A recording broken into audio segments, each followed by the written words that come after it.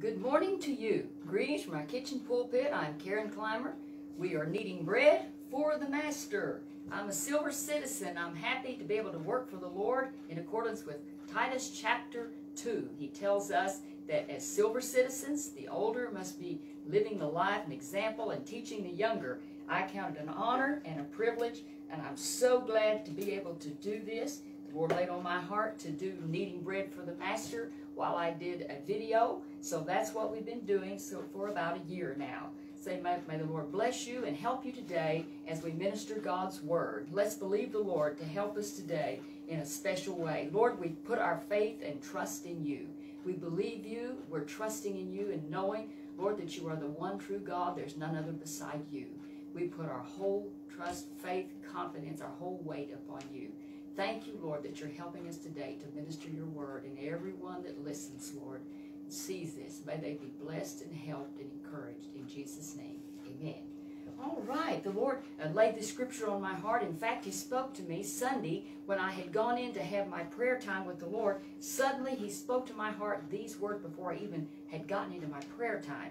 And it was, The eternal God is thy refuge. And so I looked that up. It's in Deuteronomy chapter 33 and verse 27. It says, The eternal God is your refuge, and underneath are the everlasting arms. And listen to this. He will thrust out the enemy from before you and will say, Destroy. Our God is a great God, and He looks out for His children. The title of our devotion today is simply that the eternal God is your refuge. Remember to personalize that. The eternal God is your refuge. Now I'm going to be kneading this bread. Why do I need bread? Those who listen know it makes it stronger because it binds it all together. And I'll tell you what I did today. I thought I would just bring the finished product. I talked about that. But when the finished product is done, it's going to look something like this. And I hope there, there may be a glare on this. But this is a finished product that I had made uh, some time back. And I freeze them and then put, put I have them in the freezer. And then I'm able to go and get them when I want to give them, said like for funeral dinners or maybe just friends or something come by, I like to be able to give them uh, some rolls. So this, and why I'm able to do this is that there was a lady who shared her recipe with me and her starter. So that's what I have done. I've done what was done for me, and I want to bless others with that. Okay. You be blessed today as we listen. Now here we go. We got to knead this bread for 10 minutes. Here we are. Let's get started. So as we see here, do, I, I asked a question uh, that came to my mind. Do you sometimes feel like you're just being mauled by the devil? Uh, this is what had been happening to me. When I would go in to pray, it was just like I was being mauled by the devil. I just, uh, it seemed like I couldn't get anywhere. You, have you had those times? I think you probably can identify with that. In fact, I'm fully confident that you can. But you know, the Lord wants to help us. And even though you don't feel Him, you don't see him at that time like that, it's a very miserable time. But I, what do you do? You keep on praying. You pray anyway. And there I've been going through that time that it just seemed like it's, you know, you can't live in the scenes. It seemed like, and I and my feelings, if I'd known my feelings, it just felt like I was wasting my time. But it is not a waste of time to call out on God and to talk of Him to Him of His greatness, His power, and His might whether we feel it or not. Like I said, you don't live by your feelings and you don't live in the scenes. It seems like this and it seems like that. But God honors faithfulness. And I believe it was God in his graciousness that he has he knew what was going on. And might say, well, he shouldn't have allowed it. Well, he does allow it because he wants to see who we are. Well, he already knows who we are, but he wants us to see where we are, and he wants to know if we're going to depend on him. He wants us to see ourselves for who we are. You know, all we like sheep have gone astray. Now, sheep are cute little things, but let's just face the fact, they're not the smartest things. They, uh, you know, they get into trouble if they don't stay with the shepherd. It's important that you follow the shepherd. So the Lord isn't insulting us, but he's certainly not uh, telling us, you know, how strong you are on your own. He's telling you he's, that you need a shepherd, and that's why I'm here. I'm your shepherd.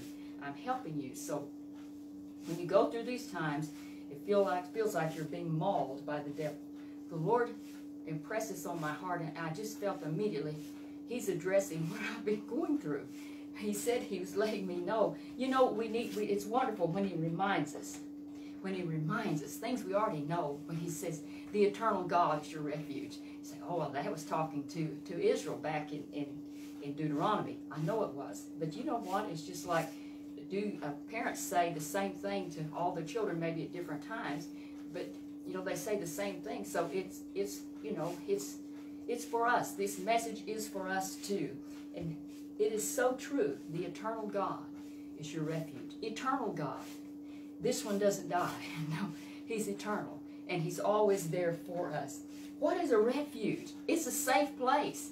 It's a safe place. My dad has told when he was in the uh, in World War II how the when they, the bombs when the siren would go off, and he said you would get to that bomb shelter. He said we had a man that would literally run over you to get to the bomb shelter. Why? It was a safe place, and he didn't want to miss it. Oh, we have a safe place with the Lord. Yes, we're going to be going through some things, but as the song says, I want to be going through things with the Lord. I want to be going through things with Him with as my helper, knowing He's with me. He's watching me. I may not see Him, I may not feel Him, but I'm fully confident and know that He is faithful and He is there with me. So that's an easier way to go through a situation. We are instructed that when we feel like we're being mauled like this, it says we're instructed and we're empowered to resist the devil and he will flee from us. That is in James chapter 4 and verse 7 through 10. 10. The scripture says, Therefore submit to God, resist the devil, and he will flee from you. Draw near to God, and he will draw near to you. Cleanse your hands, you sinners, and purify your hearts, you double minded. Lament and mourn and weep. Let your laughter be turned to mourning and your joy to gloom. Humble yourselves in the sight of God, and he will lift you up. I love those scriptures. Apply them, personalize them. These are for us. And if we're waiting for all of a sudden this, this joy just to come, it likely won't. So the thing we have to do is come back to the Lord and we begin to worship Him, glorify Him, pray for others. That's what we have to do is to stand strong in the Lord in the power of His might. He's come in the refuge, you can be healed. In the refuge of things you're going through and uh, distressing things that you're experiencing, uh, that you we can call out to God in the refuge and we're safe. They're safe with Him. The Lord is, and see, the eternal God is your refuge, my refuge. So we call out to Him and know we're safe with Him. He hears, He knows, He cares, and He's guiding us in all of this time. It's a time of refreshing.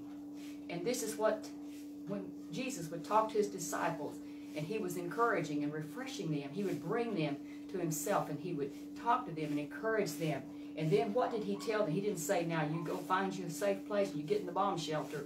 Uh, they're going to be mad at you and they're not going to like you. That's not what he told them. He said, go into all the world and preach the gospel. Well, tell, the, preach the good news. And so that's what he's saying to us. And we're doing that. We're actually preaching, whether you're called to preach as far as a minister of the gospel, like the Lord called me as a nine-year-old girl, but it's that when you're called uh, to you know we're all he's chosen us. He wants us to live for him. Not everybody chooses to do it. But for god so loved the world that he gave his only begotten son that whosoever believeth in him got to believe in him we not should not perish but have everlasting life. He has called our very life as we live it is an example to those that are lost and may it encourage them as they see us living in faith and victory and confidence and see how god ministers and meets our needs that should be an encouragement to others to live for the Lord and want to make the same choice. The Bible said, resist the devil and he will flee from you.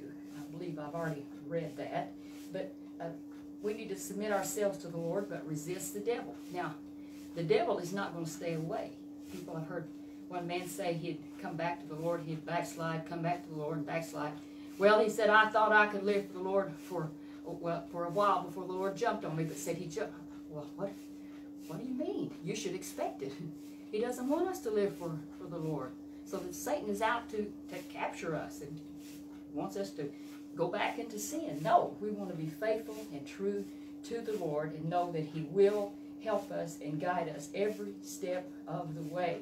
Okay, now let's read. said, draw near to God, he'll draw nigh to you. And also talked about not being double-minded. That's what there's in that scripture in James. It talked about that. Not being, but purify your hearts. Do not be double-minded. Have you been around people that are double-minded? I'll tell you what, you don't even want to be around them. You don't. Uh, they're kind of dangerous people. You don't want to have any kind of a, I say, a business deal with them. We don't want to be double-minded in in that we want to live for God, and then when we get in trouble, then and we want to be like everybody else around us. No, we want to be just strong in the Lord and in the power of His might, loving the Lord and knowing the Lord knows He can count on us. That's the thing, being truly faithful to Him. And it talks here, the eternal God will keep us from stumbling. I love this scripture that we can trust in Him, and He and in our the test of our faith it goes. We can still put our faith and trust and confidence in Him and know that He will be with us and He will lift us up. He is able to keep or guard us. Yes, He is guarding us. He is watching over us.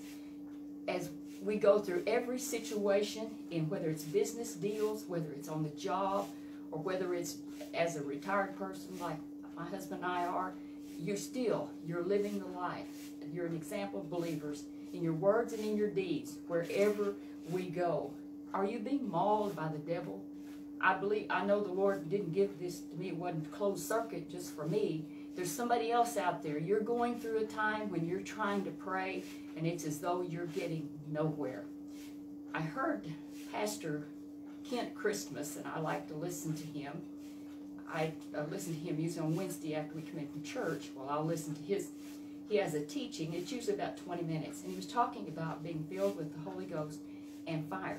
Was talking about the importance how fire, how that it, uh, he said it ha- there's power in it, you know. So we want to be we want to be filled with the Holy Ghost and fire, fire that can uh, devour impurities and fire that can empower us and help us to be what we ought to be for the Lord.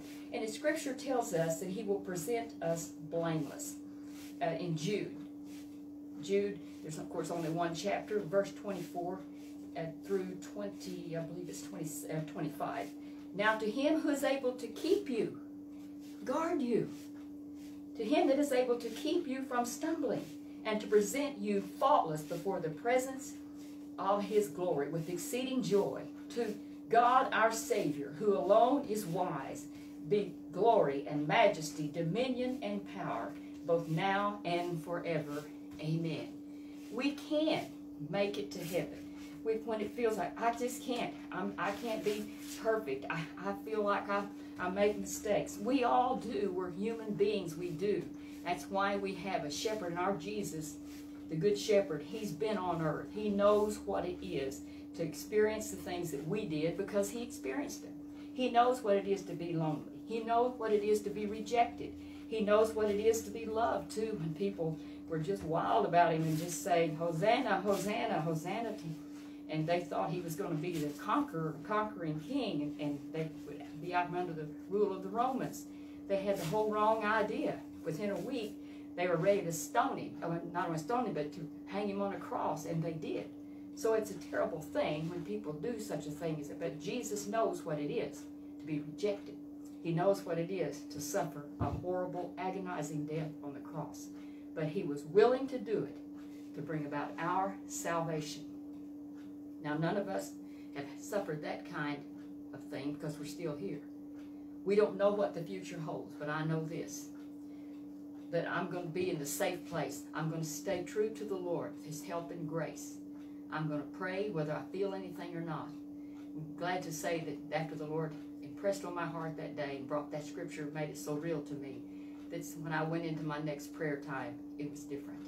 I'm so thankful for that. I, you know, we have the times though that it seems dry and it seems, but keep right on praying, keep doing the right thing. As they say, keep putting one foot in front of the other. I want to close with uh, one final thing that, that made an impression on me. This kept coming to me, and I felt like it's what the Lord wanted me to bring. I had uh, heard of, and I looked up online and saw where, I think it was back in the 80s, there was a, a gentleman that, he was a photographer, and he wanted to, uh, he wanted to jump from a plane, wanted to uh, had a parachute and he wanted to to jump. So he had he he at this particular time he was watching others. He was there in the plane, and he was making sure that everybody had their parachutes on before they would jump. Well, it came time that he was going to jump, and because he was a photographer, he wanted to uh, photograph this. So he had his photography equipment on, and so he jumped. And all of a sudden, people noticed when it came time for him to pull the ripcord, and you saw him ripping there. He was trying pulling pulling for that rip, pulling, trying to find it, where, where couldn't find it. And suddenly, you saw the horror, the, the look on his face, because it was all being photographed.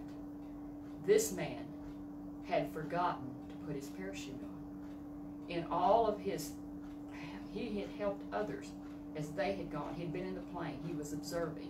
He made sure they had their parachutes on.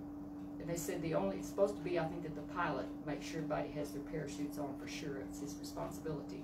And they think that he apparently mistook the photography equipment for his parachute.